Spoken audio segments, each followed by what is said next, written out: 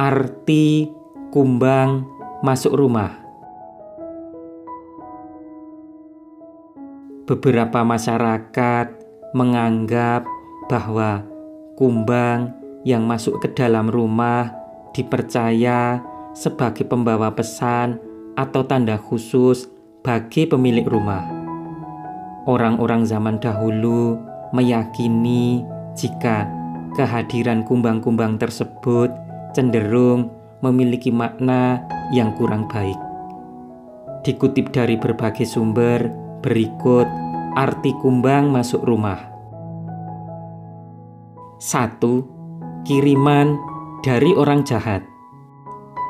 Kumbang masuk rumah terutama jika hal ini terjadi pada malam hari, maka dianggap sebagai hal yang perlu diwaspadai.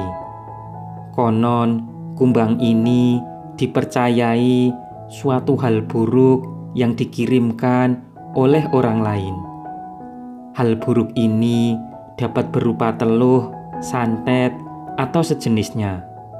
Untuk mengusirnya, bawa keluar dan katakan, "Kembalilah ke majikanmu." Dua, akan ada yang memfitnah. Ada sebuah mitos yang mengatakan bahwa kumbang masuk rumah merupakan pertanda adanya orang lain yang tidak menyukai keluarga Anda. Orang tersebut kemudian akan menyebar fitnah atau kabar tidak benar tentang Anda.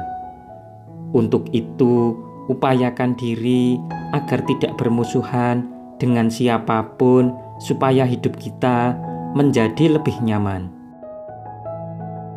Tiga, jelmaan makhluk halus tidak hanya firasat buruk, mitos, dan misteri juga tidak akan lepas dari kehidupan kita.